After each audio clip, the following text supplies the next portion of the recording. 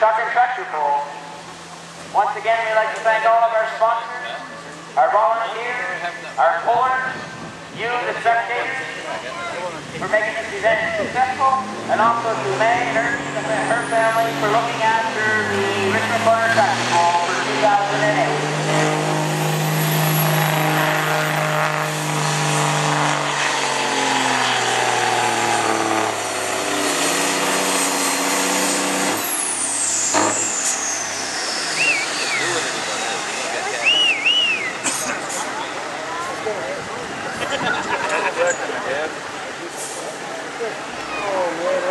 Who did?